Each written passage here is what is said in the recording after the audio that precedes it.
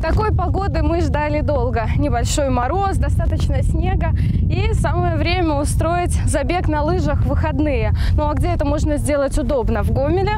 Я сейчас расскажу.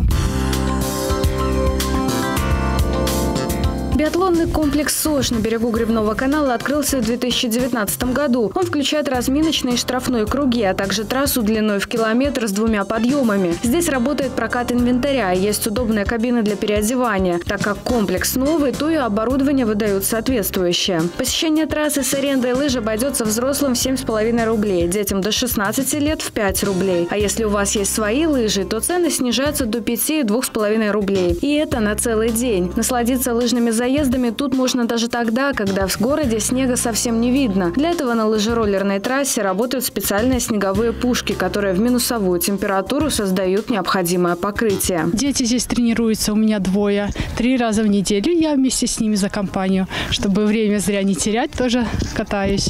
А у вас дети, ну, прям спортсмены занимаются? Ну, да, еще только начинают. Ну, планируем, хотим, чтобы занимались полноценно. Так, а у вас самой опыт какой на лыжах? На лыжах никаких таких. Здесь впервые стала первый раз на лыжах и на роллерах здесь тоже попробовала впервые. Возможность, да, вообще отличная, замечательная. Очень рада, что здесь у нас в Гомеле открылся такой биатлонный комплекс.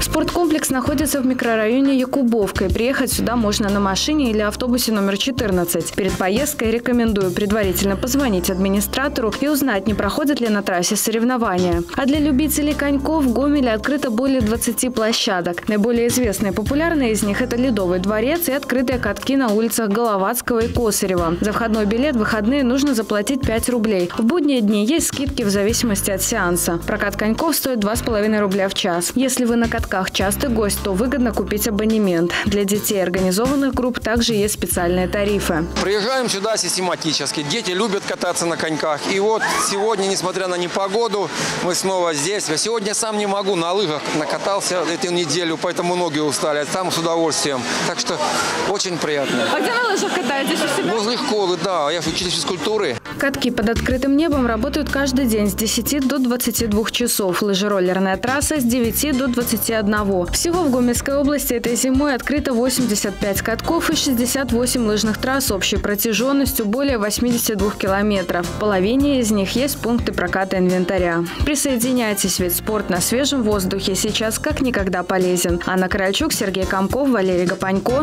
Новости недели.